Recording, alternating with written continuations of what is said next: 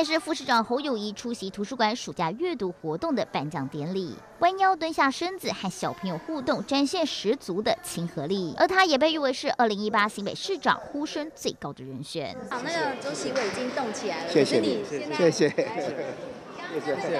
听到敏感问题，低调不正面回应，但和国民党新北市党部主委一同出席活动，是不是已经有暗示？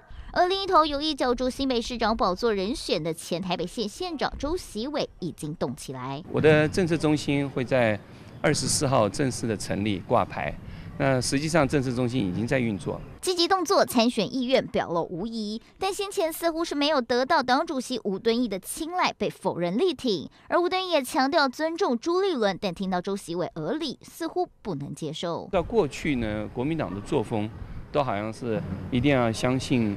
地方的首长对于选举会有绝对的操纵权，那可以利用行政资源对于选举做一个胜负的这个影响。